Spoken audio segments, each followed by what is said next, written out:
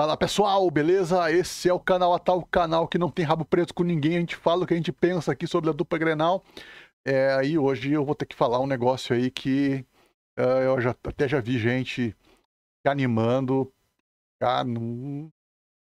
Vamos lá, tudo com calma.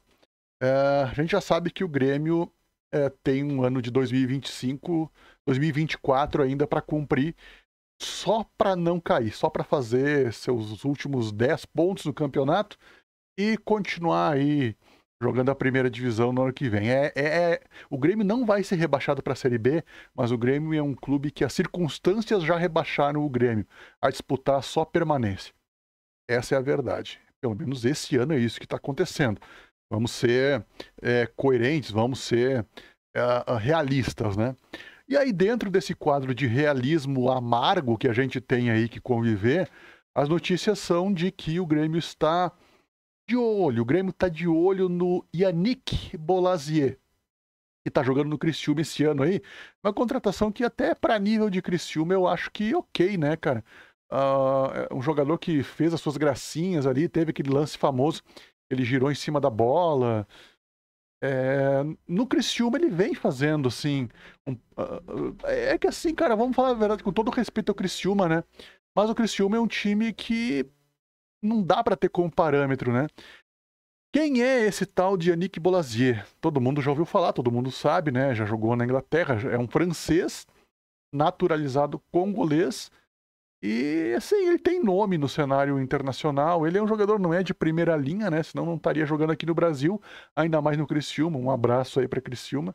Mas, gente, o Grêmio não pode cometer esse erro. Vamos falar a verdade. O Grêmio não pode cometer esse erro de trazer de novo um jogador aí em fim de carreira, um cara que daqui a pouco.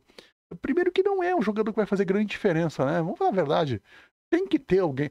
O Grêmio tem que ter a competência. Cara, eu sei que é até chato falar isso, mas o Grêmio tem que ter a competência de vasculhar o mercado se quer contratar alguém para jogar naquela função ali.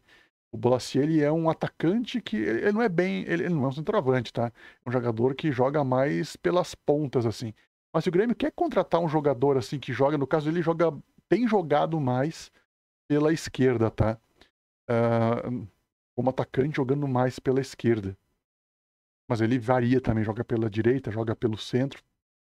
Mas agora é o que eu queria falar. Puxando de novo o fio da meada. Se o Grêmio quiser contratar um jogador para jogar naquela função, acho que o Grêmio tem que ter um pouquinho mais de, de é, menos preguiça. É, é, é uma contração típica do Renato, né, cara? O Renato jogou contra o cara, viu o cara, chamou ele no intervalo no final do jogo e disse assim: E aí, ô Bolacier, quer jogar aqui? Se quiser, eu te eu passo a mão aí para ti. Não, cara, futebol não pode ser assim. O futebol tem que ser. Tem que ter análise, tem que, tem, tem que descobrir jogador mais novo. O Grêmio não tem dinheiro. Não sei se não tem dinheiro. Esse negócio de Grêmio não tem dinheiro, Inter não tem dinheiro.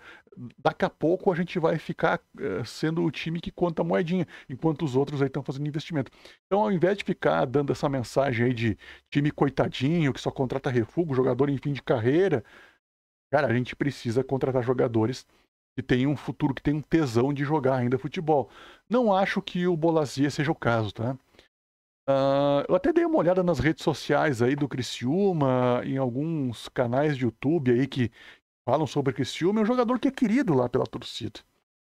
Ele, ele é um cara que. Mas, cara, é. A gente tá falando do Criciúma, né? É a mesma coisa falar do Nenê Juventude. Embora o Nenê, eu acho que se viesse pro Grêmio, jogaria mais que o Bolazier, seria mais importante que o Bolazier. Mas, mas é que tá.